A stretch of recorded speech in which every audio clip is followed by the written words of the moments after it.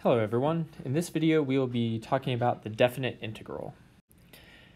So we have the definite integral, which we'll talk about in this video, and we've already seen the indefinite integral, right? So the indefinite just looks something like this, and this was just the set of antiderivatives of our function f on the inside, right? So we got a whole family of functions. So this was the indefinite. The definite is going to be different we'll talk about it more in a bit, but essentially it's going to have some sort of connection to area regarding our function.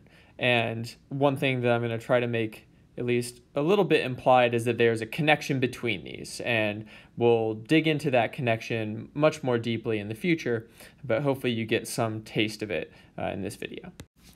So let's try to dig into this through an example. So suppose we have an object traveling in a straight line with constant velocity of 10 feet per second for 8 seconds. How far did this object travel? So should be able to figure out pretty quickly, right? 10 feet per second. I've got 8 seconds. It's going to be 80 feet, right? This is 10 feet per second times 8 seconds. Okay. Well, there are a few ways we can interpret this. So first I want to think about the indefinite integral here. So my 10 feet per second is my velocity, and I said this is a constant velocity, right?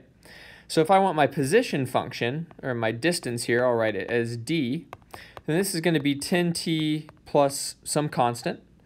And in that case, well, I know that I've traveled nowhere at 0 seconds, and so it's really just 10t, right? My c is 0 because d of 0 is 0. Okay, and so distance after 8 seconds is 10 times 8, and I get 80. So this is one way to use the indefinite integral to talk about this. So I want to show that this can also be viewed geometrically. So if we graph this, and we've got time down here and velocity over here, what does this graph look like? Well, I've got this constant velocity at 10, and I'm going until 8 seconds. 80 is exactly the area of this rectangle right? 8 times 10 for length times height. So these are two different ways, a geometric one and kind of an antiderivative one, to view the same concept. So let's look at another one that maybe isn't quite as simple. All right, so here, uh, we'll say we're in a video game. I don't know, I've been watching League of Legends videos lately, even though I don't play the game. And so you're walking in a straight line, you're moving 10 feet per second for four seconds you're walking toward a battle, and then someone hits you with a stun and you're frozen for two seconds and you can't move. So you have velocity zero. You miss this fight, and then you're all sad, and so you, you trudge back in the direction you came for a couple seconds at a slower pace of four feet per second. So, same question How far have you traveled? What is your net distance? Let me say that. So, what is the net distance here? So, in this case, right, I want to think distance from home in terms of net distance. Uh, so, well, you can do, okay, we did 10 times 4, we move 40 feet. Uh, then, well, we got 0 from when we weren't moving. And then we have 2 seconds where we're going back. So this velocity incorporates direction, right? So if we're going back the way we came, this should be 2 seconds times negative 4. And so we should get 40 minus 8, and get 32 feet of either displacement or net distance, however you want to think of that. What's this graph look like? Well, again, here we have, you know, 10 for a bit until we're at 4. We have 2 seconds where we're not moving at all. Uh, let me actually just do this in red. And then down here at negative 4, we have another line from 6 until 8, right? And so now what I'm looking for in terms of area is this, except for here, right? This is 40. And this is going to be, well, the width is 2 and the height is 4, so this is 8, but it's below the x-axis, and so I will consider this negative 8. So we again can view this either geometrically or, you know, as this is like a 10t plus 0 plus uh, negative 4t, and then viewing the different time gaps. So then you might ask, what if velocity is not constant, right? Or at least not constant in chunks. So we've seen things like this, right? We've done position, velocity, acceleration problems. So think about if our acceleration is negative 32 from gravity. And I'll just give example where our initial velocity is 64. So we would have uh, negative 32t plus 64 for our velocity function. And in this case, you can think of like throwing a ball upward. So our initial velocity is 64. It's going to end up coming down. Uh, and I want to know its height in general. So my height here would be negative 16t squared plus 64t. And it hasn't, it's starting from the ground. So uh, the constant here will be 0.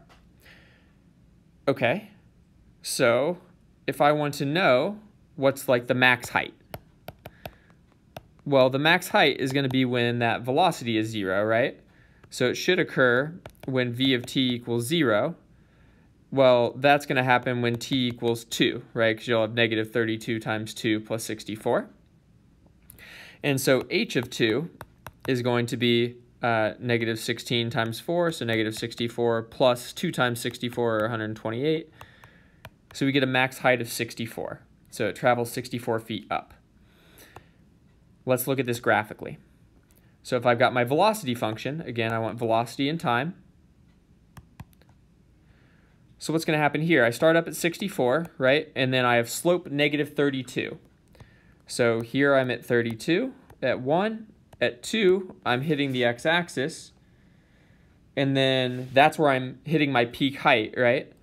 And then I'm going to keep going until I hit the ground. And, you know, this would be at time 4 in this case.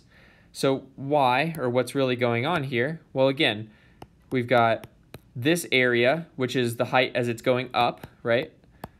And we have an area of a triangle, which we know. So 1 half, the height is 64, and my base is 2. And so I get 64, matches my max height. Right, and then you start coming down, and so when is it going to hit the ground? Well, it's just going to be symmetric, right? It's going to come down, and this would be width 2, and this would go down to negative 64 down here. So now we're ready to define the definite integral. So it's going to be the signed area, total signed area on an interval from A to B. So let's just look at a picture here. So say my f looks something like this. Then the total signed area counts everything below your graph but above the x-axis, so the stuff in blue as positive, and then it's going to subtract away the area below the x-axis but above, right? So this would be counted as negative area. And so this end result is our definite integral.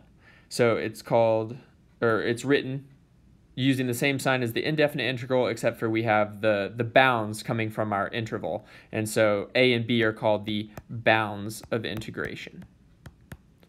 Okay, so you got your lower bound a and your upper bound